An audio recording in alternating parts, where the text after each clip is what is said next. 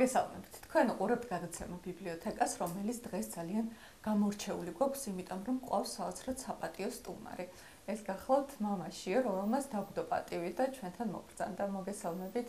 მოგესალმებით. ჩვენთვის პირადად ძალიან დიდი პატივია და თქვენთან ურთიერთობა და ამ სექციაში ყოფნა და ჩვენი ახლობლობა, რა ვიცი, მეგობრობა.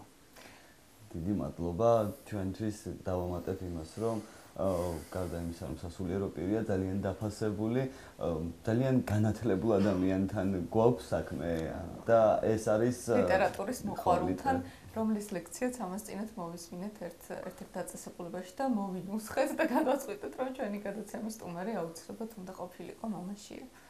რომელმაც დღეს ძალიან საინტერესო თემა შეარჩია სასაუბროდ. თქვენ ბრძანეთ რომ დიქტატურის თემებით ხართ ლიტერატურაში დაინტერესებული და ამიტომ დღევანდელ მთავარ სასაუბრო თემა გამოირჩიეთ ცხოველების ფერმა. ხო. ორუელი, რომელიც მეორე თაობის, შეიძლება ითქვას მეორე თაობის დიქტატურაზე მწერალია ზამიატინის და ოდოს აქსლის შემდეგ, უკვე მეორე თაობის, მაგრამ ძალიან მნიშვნელოვანი, მოაღრესად მნიშვნელოვანი, ალბათ მთელი მეორე საუკუნის და ძალიან დიდი სიმბოლისტი. კი, აი ეს სიმბოლისტი და არა ისეთი ვთქვათ, აი მოაზროვნე ბავშვმაც რო წაიკითხოს მიხვდება ეს ანიშნულოვანი ლიტერატურაში ადამიანმა გაიგოს საერთოდ. და ზოგადად ცხოველების ფერმაც განსხვავებით 1984 ყველასგან განსხვავებული ამ სიმბოლიზმით ძალიან დატვირთულია, ხო? ხო, ის იყო პოლიციელი იყო, ინდუეთშია დაბადებული და აი ინდუეთში რო დაიბადა ეს უკვე რა თქმა უნდა ინდუეთის ოკუპაციის ინგლისის ოკუპაცია იყო მაშინ და ინდუეთში შეგუმთავი დაანება საქმიანობას და გაურკვეველი რაღაცა დირჩენდა ისე თავს თავისი ცხოვრებით და ის თავისთავად წერდა. ხა ერთ ცოტა გადახოვას გავაკეთებ ცირეს და დოჩანაშვილი ამბობდა რომ ვერ დაწერა ადამიანი თუ არ არის გარკვეული ცენზურა, თუ წინააღმდეგობა არ ახლავს შენ წერლობას და მართლაც ასე აი კომუნისტების ეპოქაში განსაკუთრებულად იწერებოდა და განსაკუთრებული წერლობაში იქნა საქართველოსში განსაკუთრებული ეს მდგომარეობა მართლაც და რეოლუცია ამაში რა თქმა უნდა გამორჩეულია იმიტომ რომ ის მონაწილეობას ღებულობდა ესე ვთქვათ რესპუბლიკური მხარეს ოღონდ ეს იყო კომუნისტური აჯანყება რა თქმა უნდა და ამის შემდგომ ალბათ ამის შემდგომ გაჩნდა იდეა იმისი რომ მას დაიწერა ცხოველების ფერმა ერთ რამეზე ჩაიქცევთ სანამ ისე ორგანოებთან მივალთ ძალიან საინტერესოა მაგრამ საქართველოსში რატომღაც ისე მოხდა რომ თითქმის არ იწერებოდა გამოუქვეყნებელი რომანები ხო.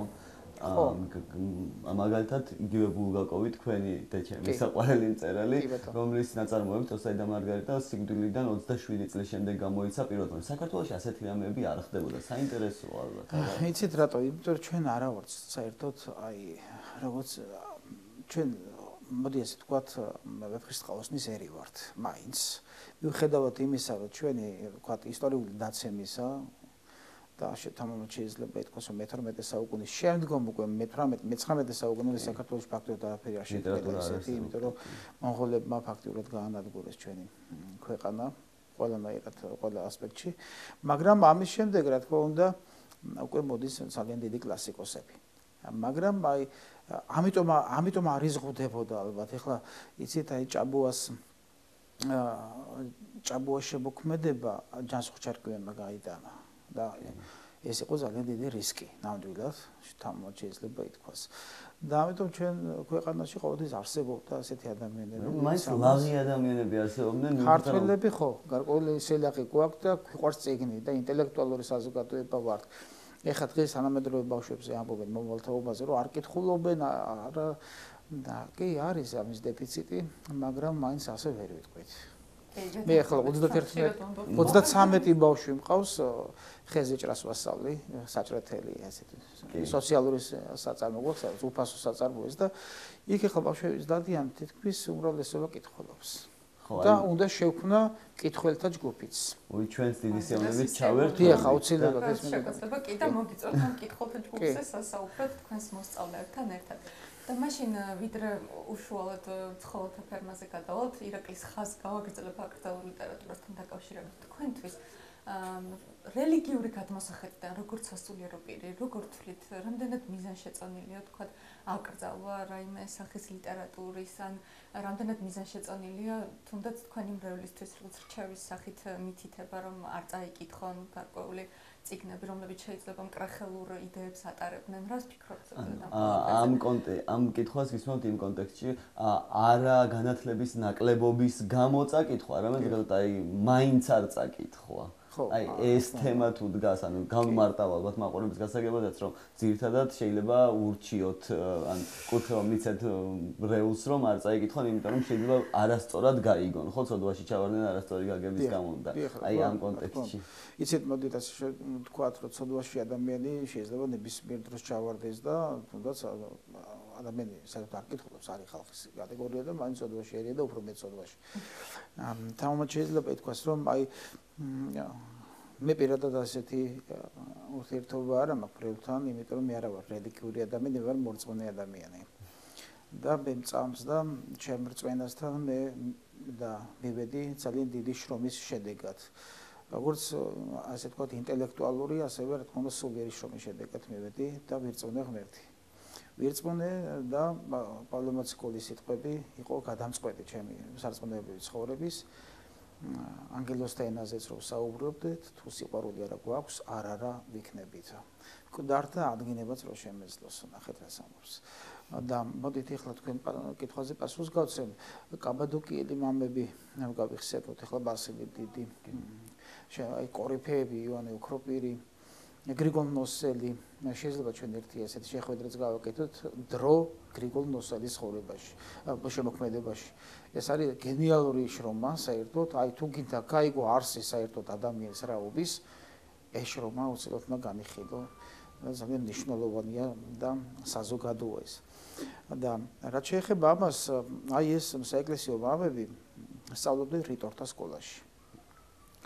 დაამთავრეს ფილოსოფიური სასწავლებლები, ეს იყო აუცილებელი ათენელებისთვის და კაბადოკიელებისთვისაც, რა თქმა უნდა. ამის გარეშე ადამიანი არაფერი არ იყო. და თქვენ როგორ ფიქრობთ, ახლა იქ ეცნობოდნენ მთელ ანტიკურ შემოქმედებას და ლიტერატურას? საკმაოდ გარყვნილსაც, ხო, ყველაფერთან. ხო, და იცით როგორი მომენტია, აი საერთოდ ლიტერატურა არ უნდა არ უნდა შეიზღუდოს ამის საკითხვა. რელიგიური შეზღუდვა თუ მოხდება უფრო მეტ უკუს ჩვენებას დაპირისპირებას გამოიწვევს ეს. არა მე პირადად ყოველთვის ვკითხულობ ეხლაც. რა თქმა უნდა წიგნს ჩვეულებრივად მსოფლიო ლიტერატურიდან თანამედროვე ლიტერატურასაც ზოგი კარგია და ბევრი შეიძლება ვთქვათ არ მომწონდეს.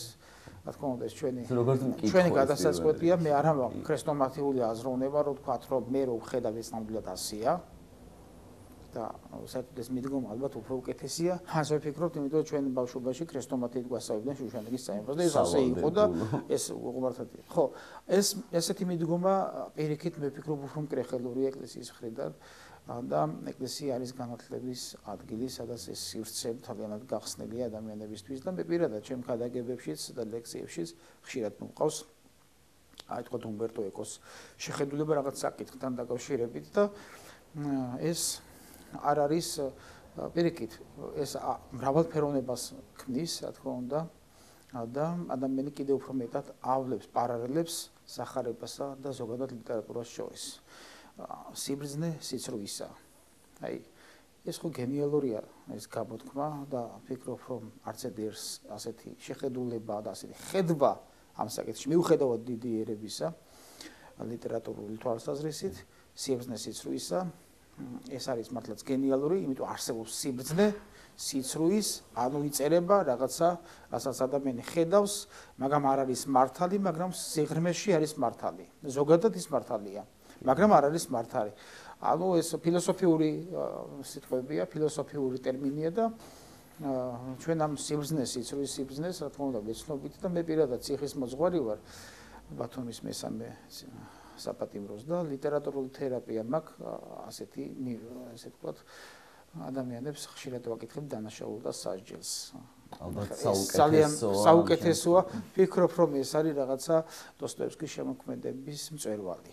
დანაშაულ და სასჯელი. ძალიან დიდი მადლობა, იმიტომ რომ ხო და ამით ადამიანები ხშირად მიდიან რაღაცა სწორ აზროვნებამდე და ასაც ქვია ნამდვილი სინამდვილე აი გენიალური ნათქვამი აქვს დოსტოევსკი ხა დოსტოევსკი დავიწყეთ თემას გადავხდით მაგრამ ეს არის ნაადრევი მონანიების პრობლემა.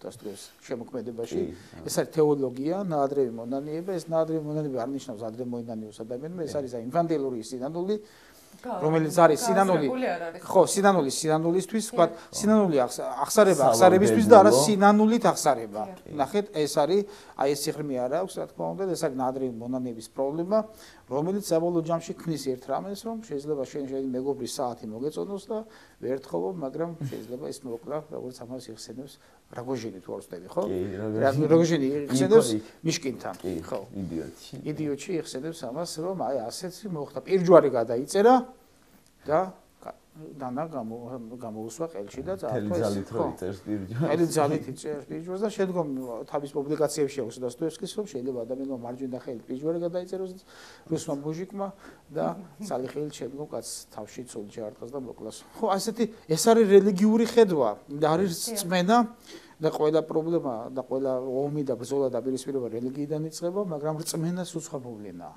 საერთოდ. ამიტომ ეკლესია არასოს არ უპირისპირდება, რა თქმა უნდა, განათლებას და პირიქით, პირიქით საეკლესიო საგანათლებლო საქმიანობას ეწევა თავად ეკლესია.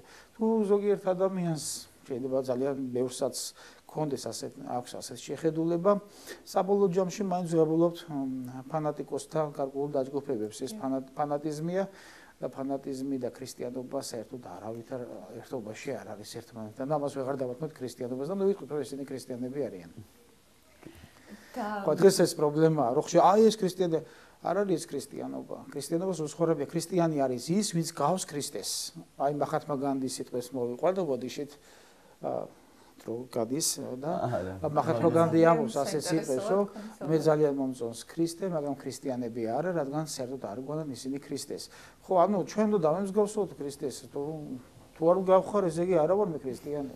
ეს არის ლოგიკური პასუხი. მომდევნო რომელიმე გადაცემაში ალბათ მიშკინის ქრისტეს ბუნებაზეც ვისაუბრებ, ხოლმე, იმიტომ რომ მე ვისაუბრებ ამ საკითხთან დაკავშირებით ერთ-ერთი დიდი თეოლოგის და ღვთისმეტყველის თანამედროვე უდიდესი კორიფეს შეიძლება ითქვას, ეს არის მეუფე ათანასე იევტიჩი, ეს არის სერბი მღვდელმთავარი, რომელიც არის იუსტინე პოპოვიჩის სულიერიშვილი და მას აქვს ასეთი ნაშრომი დამასკელიდან, იონი დამასკელიდან დოსტოევსკიმდე. აი წარმოიდგინეთ რა არის ეკლესია როგორი უნდა იყოს. ეს არის კაცი რომელიც არის აი ათონის თაზე ერთ-ერთი არქიმანდრიტმა მითხრა ამ ადამიანის შესახებ რომ ვერ დაახასიათა ჯერ ახლა ვერ გადმოსა ამ ადამიანის ბუნება და თქვა ეს არის განათლების ოჩხოლიო ასეთ რაღაცა ხო და მართლაც ასია და ეს ეს არის ლიტერატურა. და ამას ქაუბარი კიდე უძიროს კიურია მართლა, იმიტომ რომ მუდმივად შეიძლება ბევრი გადაცემის მასალა გვაქვს და ძალიან გახარებულები ვარ. შეიძლება ციკლი ჩავატაროთ გადაცემების. და რატომ აირჩიეთ, როდესაც დიქტატურაზე საუბარი გადაწყვიტეთ, რატომ ამჯობინეთ 1994 ცხოველთა ფერმა, ცხოველების ფერმა და უკვე გადავედით მთავარ თემაზე. ცხოველების ფერმა ავარჩიე, იმიტომ რომ თან წამოვიღე ციკლი და მინდა მაყურებლებსაც ვაჩვენო ეს. ეს უკვე ნიშნავს ცეთელ ფონზე ნაპოლეონი რომელიც შემდგომ გახდა ესე ვთქვათ აი ამ ფერმის მართველი მართველი პატარა დიქტატორი თუმცა არ ჩანს აქ მაინც პატარა პატარა ხო. იმიტომ რომ თუ ჩვენ გადავავლებთ თვალს ზოგადად აი ამ წერლის ცხოვრებას დავინახავთ რომ ის კომუნიზმსაც ძალიან ძიმედ შეეხო და შეეხო თავად კომუნიზმი მასაც მეც პირადად შემიძლია გითხრათ ვიხა მე არა ვარ მასაკის მაგრამ პიონერიც ვიყავი.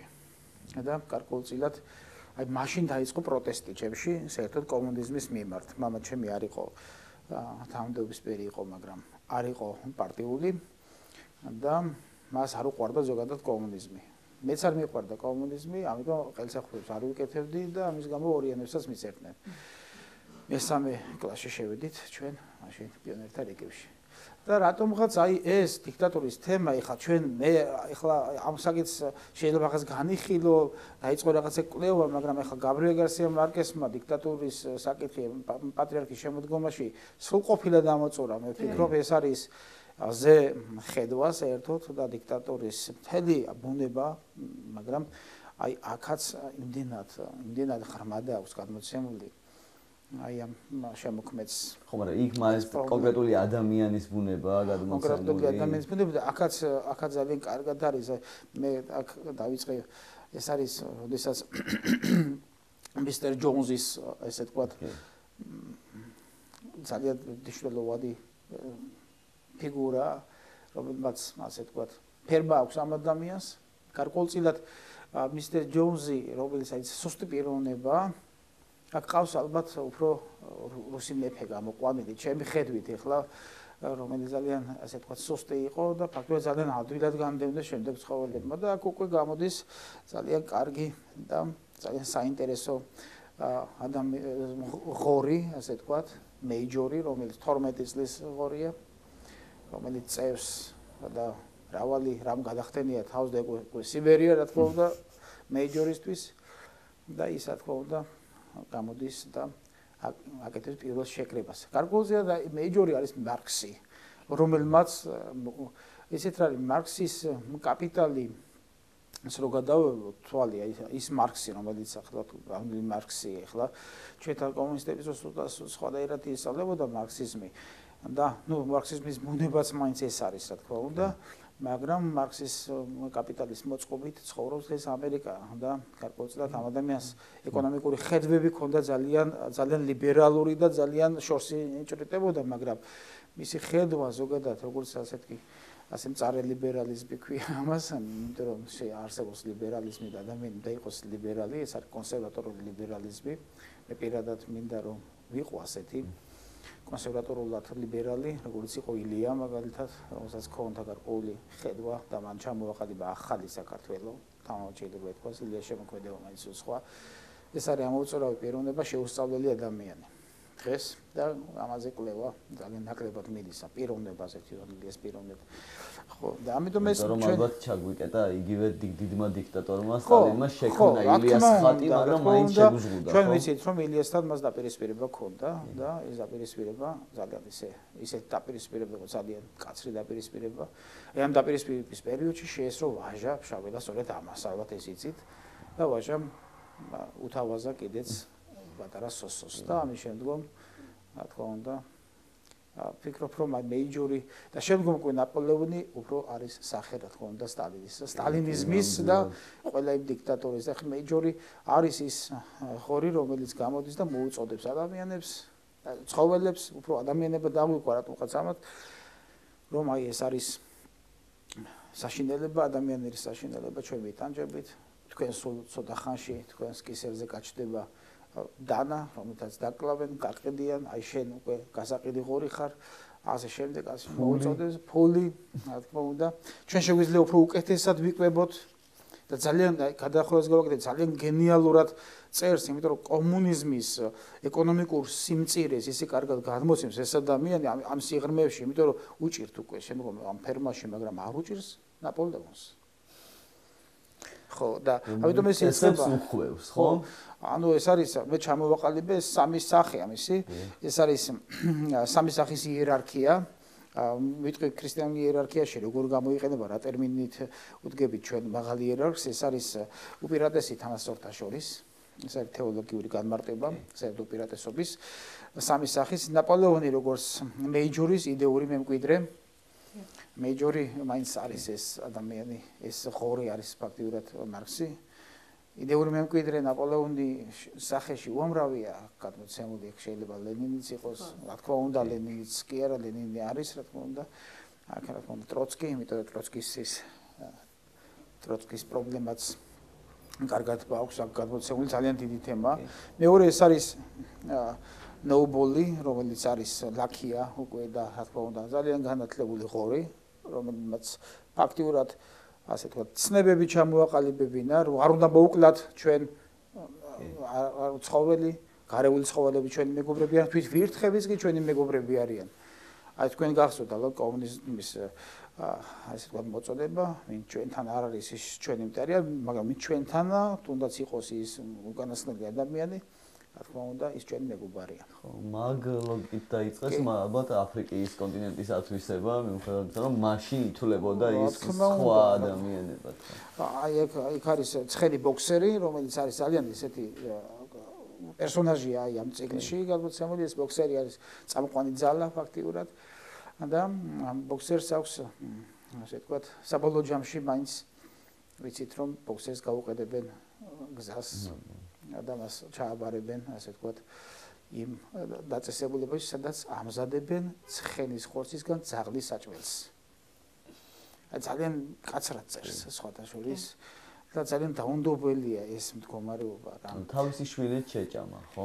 ამ შემთხვევაში. თავისი შვილი შეჭამა. სისტემა. კი, სისტემა, ხო. იმიტომ რომ ნაპოლეონი კარგი იდეებით მოდის და თავად იდეები ასე იყო. იდეურად რო შევხედოთ, ასე თქვათ, მარქსიზმი ქრისტიანობას ერტყმობა, თანასწორობის პრინციპს, მაგრამ თანასწორობა რწმენისა და სიმდაბლის გარეშე არ არსებობს.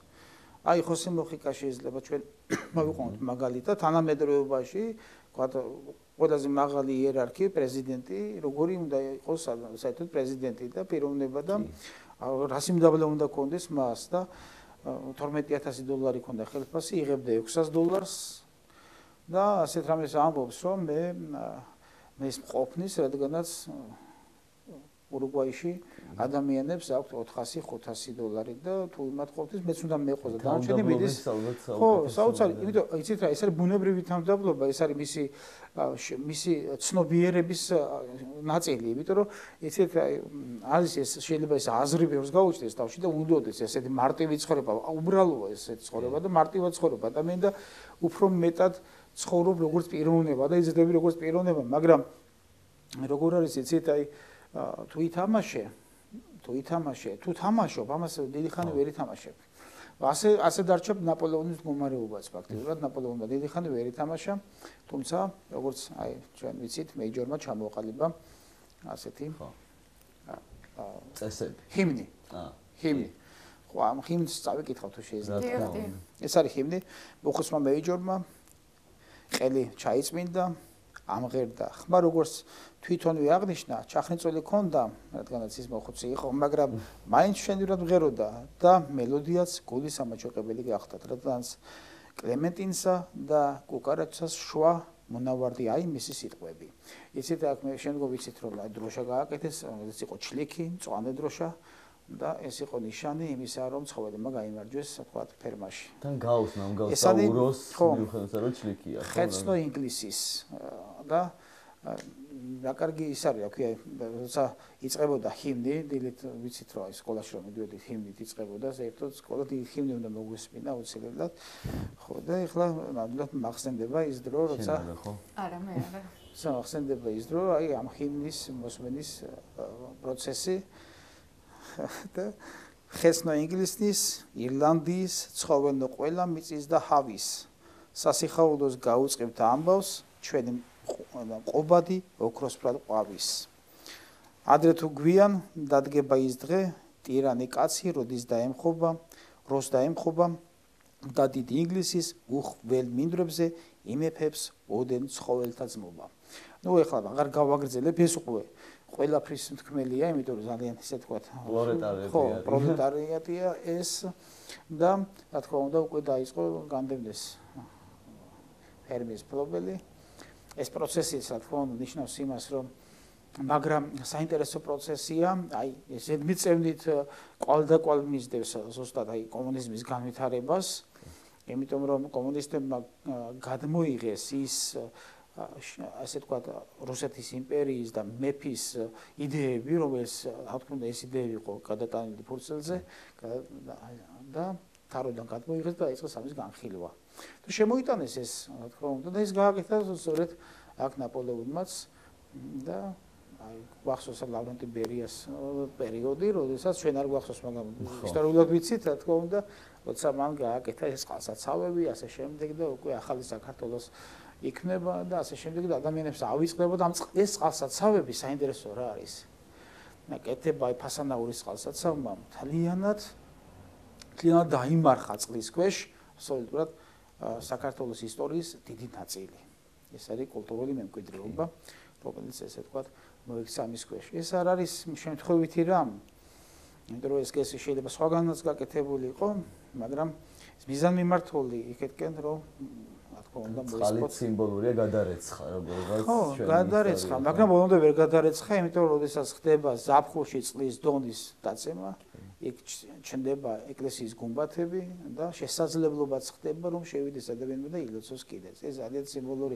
ზედოთ ჩვენ ამას არ ვაკვირდებით ეხლა იმიტომ რომ რაღაცა ჩვენ საკმაოდ დავკარგეთ საერთოდ სიმბოლისტური ცხოვრება. ჩვენ ქვეყანაში და ეს სიმბოლური ცხოვრება რო დაეკარგა ახარ ვაკვირდებით ასეთ ნიუანსებს ამიტომაც ჩვენ კარგავთ ჩვენ ქვეყანას ჩვენ თავს კარგავთ ელი ამბობდა რომ შენი თავი შენადვე უნდა გეკუთვნოდესო. აი ეს იმდენად დიდი სათაურია და დიდი სიბრძნეა რომელსაც დიდი შრომა ჭირდება რომ ეს კარგად გაიგო და ჩაუხმდე თუმცა ეს გადმოსაიგდება როგორ მაგრამ როგორც მერაბამარდაშვილი იტყოდა არის აზრი, რომელიც შემოდის ადამიანის გონებაში და ეს აზრი უნდა აგორაო, აგორაო, აგორაო და დამრგვალდეს უნდა და მიიღოს თავისი სწორი ფორმა და შემდგომ უნდა წარმოიდგოს. ამიტომ ეს ჯოუნსი ესე თქვა, ვიცით, შემდგომ უკვე მისის ჯოუნსი გამოაღვიძა სწორედ ცხოველების აი ამ აფეთქებამ და ამის შემდგომ უკვე იწყება თქონდა წინააღმდეგობა. რამოდენიმე ჯერ ხდება თავდასხმა შემდგომ აი ამ ფერმაზე და ფერმის აღება ვერ მოახერხა ადამიანებმა, იმიტომ რომ აქ ბოქსერი დიდი ცხენი, რომელსაც ძალიან დიდი ძალა ჰქონდა, რა თქმა უნდა, მისი დახმარებით მოიგერიეს ცხოველებმა ეს დიდი ძინაამდეგობა და ეს ბოქსერი თამოთ შეიძლება ითქვას, რომ დიდი ჭკვიანი ცხენი არ არის, იმიტომ ის ამბობს, რომ როგორც ნაპოლეონის იტყვის, ნაპოლეონი თუ იტყვის, ის მართალია. აი დავაკვირდეთ, როგორ შეიძლება თქვა, კარგი მართველი რა თქვა გააფუჭოს პირდაპირ ამ სრული ამ სიტყვის გაგებით გახადოს დიქტატორი გარემოცვა არა ის როგორც იტყვის. საერთოდ არსებობს დემოკრატიული მართლობის ფორმა. ხო ეს არის კრეფსიტული მართლობა ჩეჩინმა თქვა რომ ამაზე კარგი ჯერ არ შექმნიდა არაფერი სამყაროში. და მართლაც კარგია დემოკრატიული მართლობა მაგრამ აი დემოკრატიაშიც არსებობს დიქტატურის ელემენტები. ელემენტები კი არა ის შეიძლება ითქვას რაღაცა უმაღლესი დიქტატურა. აი ეს დემოკრატია უნდათ კომუნისტებს და სწორედ ამ დემოკრატიით მოდის აქაც ნაპოლეონი. კომუნიზმის დიქტატურა იყო ზუსტად ხო რა თქმა უნდა ნაპოლეონი ასე მოდის და კვირადღე არის დასვენების დღე კვირადღეს არ შეიძლება მუშაობა დილდა ადრე არის საუზმე მაგრამ რაღაც დროის შემდგომ როცა უკვე ცხოვრეს მოშივდათ უკვე დაიწყო რა თქმა უნდა კვირადღის მუშაობას. და არც კი ხო შეაპარეს და არც კი შე მაგრამ ღორები არ მუშაობდნენ. არა ჩვენ არ მუშაობთ ჩვენ ინტელექტუალად ვშრობობთ ხო გინდათ რომ აი წისქვილი აშენდეს აი ეს წისქვილის შენებლობა არის გენიალური მომენტი ეს არის კომუნიზმის შენებლობის პროცესი. იცით ამ ორეულმა აი დიდმა მწერადმა თამამად შეიძლება ითქვას განჭირდა ის რა დაემართებოდა შემდგომ კომუნიზმს. აი ელექტროფიკაციის ვარიანტი. ელექტროფიკაციის ვარიანტი. არა მარტო თვითონ აი შენობა, თვითონ აი ეს ეს რომელიც შემდგომ უკვე ადამიანება დაანგრიეს, შევიდნენ და დაანგრიეს და უკვე ხელმეორედ ეს ვეღარ დასრულდა, იმიტომ რომ შეუძლებლობა არსებობდა მის დასრულებას. თუმცა აშენეს, მაგრამ ვერ შევიდეს რეალიზაციაში. ეს არის თავარი საკითხი, მაგრამ ხო აშენდა, მაგრამ ხომ გაკეთდა. ეს ხომ მოახსენეს შემდგომ მეკცხრები არიან კიდე და კარგი აი სიმბოლისტური სახეები აქ ცხენი რომელიც არის ერთგულების სიმბოლო მაგრამ დაუფიქრებელი ერთგულება გაუაზრებელი ერთგულება აი ეგ ბოქსერი უკვე ამბობს რომ აი კი ნაპოლეონი როგორც ეთქვის ისე იქნება. ერთადერთი ჭკვიანი ასე თქვა აი მინდა გითხრათ რომ მეორე ჩვენ თქვის და მესამე ეს არის ბოქსერი მესამე სახე ბოქსერი იერარქიის დაბალი ფენა ცხოველები აქაც არის იერარქია და ყველაზე ჭკვიანი ვირი ბენჟამინი. რომელიც ამბობს ყველაზე დიდი ხანი მე ვიცოცხლები იმიტომ ვირები დიდი ხანი ცოცხლობენ და ბენჟამინი ძალიან წინდახედული ვირია ის ყველაფერს აკეთებს მაგრამ ჩუმად მაინც ამბობს სიმართლეს. ერთადერთი რომელიც ამბობს სიმართლეს, ეს მაინც არ გაამართლებს. იმიტომ რომ ჩვენ შევცილდება, მოხშივდება ასე შემდეგ და ეს პროცესი მაინც იწყება და ეს არეულობა ამ ფერმაში მაინც იწყება და ამ არეულობას ძალიან დიდი პრობლემები მოსდევს. შემდგომ ჩვენ ვიცით ესე თქვენ რა კარგია ეგ ერთი პატარა ცხენი ამბობს შაქარს მაჭმევენ? არა, შაქარი არ იქნება ნაპოლეონი ეუბნება.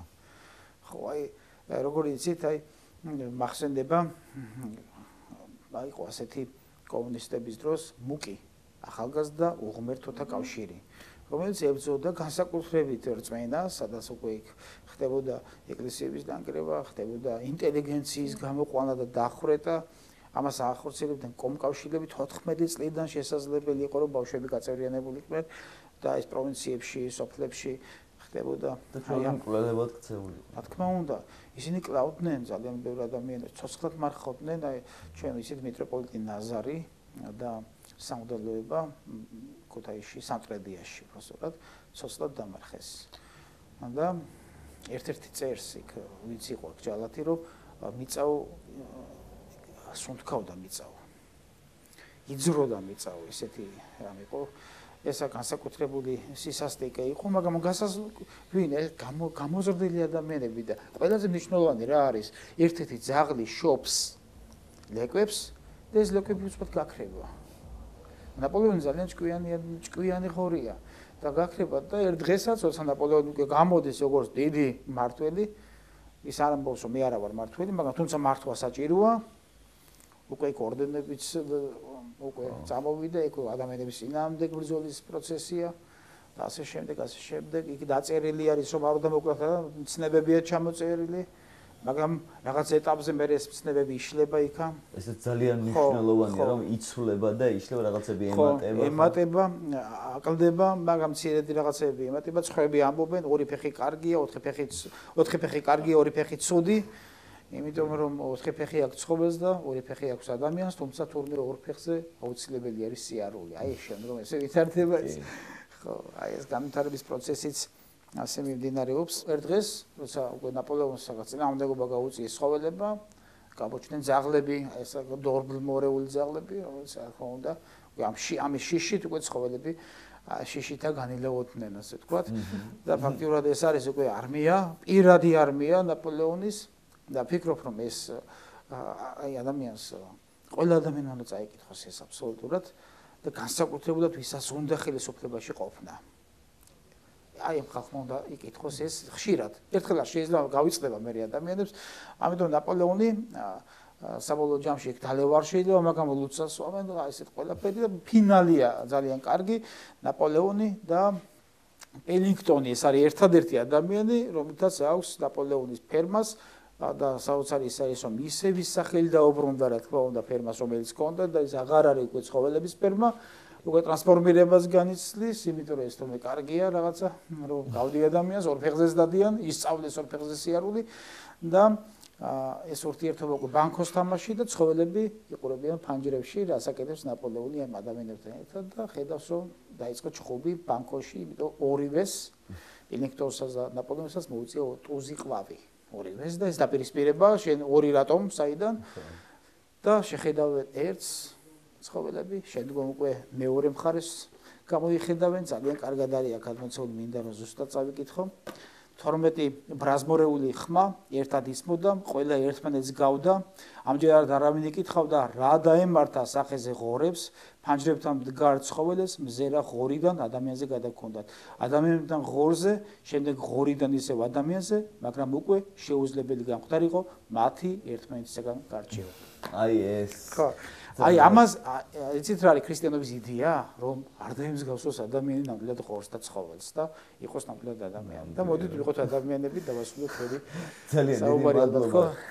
ალბათ ერთგვარი წინასწარმეტყველებაცა იყო ხომ აი ორუელის მხრიდან ეს რაში გადაიზრდება არსებობს წერლის პროფეტიზმი. პროფეტი ეს ნიშნავს წინასწარმეტყველს და აი წერლული პროფეტიზმი რომელიც ქონდა დოსტოევსკისაც დიდი ინკვიზიტორში დიდი ინკვიზიტორი სახე სწორედ იმ იმ პრობლემისა რომელიც შემდგომ უკვე სტრაგიზმი განვითარდებოდა რა თქმა უნდა ეს ძალიან დიდი თემაა და მოდით ახლა ხო აუცილებლად დოსტოევსკიზე ვისაუბროთ დიდი ინკვიზიტორზე როგორც ცალკე აღებულ ნაწარმოებებს ვისაუბროთ ცალკე ცალკე უშუალოდ დიდი ინკვიზიტორზე რომელიც ნაწარმოებად შეგვიძლია განვიხილოთ ეს ნაწარმოებია. ნაწარმოებში არსებული ნაწარმოებია თქვენი საყვარელი ნაწარმოები არის ნაწარმოები ჩემი საყვარელი ნაწარმოებია იმიტომ ხშირად კითხულობ მიუხედავად ძალიან პატარა ის არის. შეიძლება აი ზუსტად 15-20 წუთში წაიკითხავ ნელა მაგრამ მე ლექციაზე არ ყოფილა იმ კონკრეტულ ლექციაზე მაგრამ ნამდვილად მარი დამეთახმება მაგას ვიძახი მუდმივად რომ დიდი ნაწარმოებია დიდი ინკვიზიტორი. თუმცა დანაშაული და სასჯელი ისევე ასევე ჩემი საყვარელი ნაწარმოებია და ალბათ დოსტოევსკის ყველაზე მაღალი მწვერვალი არის მისი შემოქმედების დანაშაულებისასჯელი. ასე ფიქრობ, შეიძლება ვცდები, მაგრამ მეც ასე ვფიქრობ, რომ ეს ასია. ეს მამა სერგი ბულგაკოვის დაბადების დღეა და მამა სერგი ვახსენე ესე ხო და გილოცოთ ყველას და თელ წერლობას, რა თქმა უნდა, ვისაც უყვარს. ლიტერატურის მოყვარულს თითქმის არ ვიცნობ, ვისაც არ უყვარდეს, ძალიან დიდი მადლობა. ეს არის უდიდესი სიმბოლისტიც. კი, ნამდვილად, ნამდვილად. ძაღლის გული შეგვიძლია განვიხილოთ. ო, ძაღლის გული შესაძლებელია განვიხილოთ. დიქტატურა და ძაღლის გული, სოციალიზმი და ძაღლის გული ძალიან კარგად შეგვიძლია. ცოტა დეითამა ერთი 3 საათი რო ხოლმე ჩვენ დრო, ამ ნაწარმოებს ასე თუ ისე შესაძლებელი იყო რომ ჩვენ ხო, ნუ რაღაც დონეზე განვიხილოთ. დიდი მადლობა ასეთი გამორჩეული გადაცემისთვის. მე დიდი მადლობა პირველ რიგში, იმიტომ უნდა ვთქვა, რომ აი ასეთი აი სწორად განათლებული ადამიანი ბრძანდებით, აი ის მინდა რომ სწორად გაიგოს. აცუკრო დრო გადის მით უფრო მეტად ხვდები, სულად გულწრფელობით ვამბობ, რომ სოკრატეს ვეთანხმები იმაში და შემომაგ ჩემში ეცდება მე ის ვიცი რომ არაფერი არ ვიცი ნამდვილად. ნამდვილად სწორად განათლებული ადამიანი მე აი ამ სიტყვების თქმას არ მოვერიდები. დიდი მადლობა თქვენ რომ ჩვენს მოყურებელს ჰქონდა საშუალება აი ესეთი ესეთი საოცარი განხილვის და საოცარი თქვენი აზრები რომ მოესმინა და ჩვენ გქონდა ამის შესაძლებლობა ძალიან დიდი მადლობა თქვენ და აუცილებლად გელოდებით მომდენო განაცხადებს. გადასულები იყავით. მადლობა. თქვენ უყურებთ გადაცემა ბიბლიოთეკას მომავალ შეხვედრამდე.